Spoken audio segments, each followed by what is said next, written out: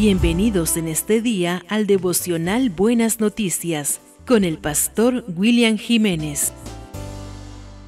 Estamos en esta linda serie, Mente Sana. Oye, nos hemos metido en problemas al hablar de esto. Yo me imagino que hay más de una persona que dice, qué mal me cae ese pastor. Pero bueno, es mi deber.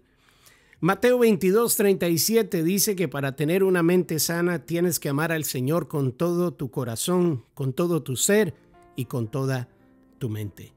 El día de hoy vamos a hablar de tiempo para meditar. ¿Sabe qué es esto? Algo que me ha llamado mucho la atención cuando leo los salmos. Y David una y otra vez viene y dice, meditaré en mi corazón acerca de tus beneficios, acerca de tu creación, meditaré en tu presencia. Si usted lee los salmos, David pasa hablando de meditar.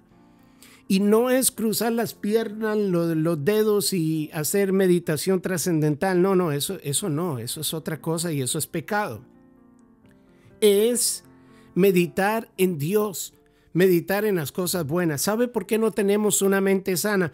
Porque ya no tenemos tiempo para el silencio.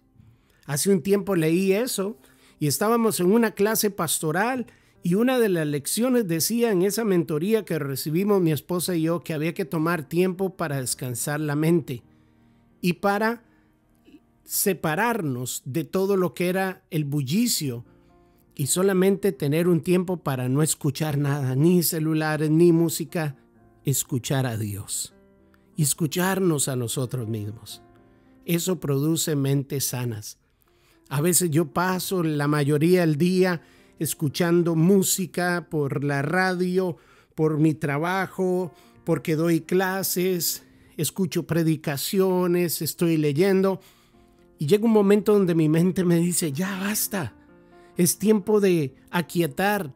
Y entonces, hermano, pongo una alarma me acuesto en un sillón, me recuesto en un sillón y me tomo 10 minutos para no escuchar nada. Eso te da descanso. Descansa tus pensamientos, pero tu cuerpo descansa. Pero también meditar en la palabra de Dios. Leer un versículo y decir, ¿qué quiso decir Dios con esto? Y meditar en esa palabra eso va a ser muy bueno y va a mantener tu mente muy sana.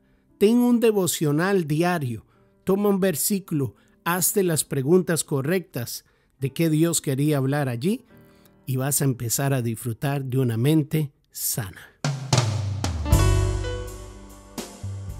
Esperamos que haya sido bendecido. Si deseas conocer más del pastor William Jiménez, síguenos en nuestras redes en YouTube, Facebook e Instagram o escríbenos al email pastorwilliamcr.gmail.com.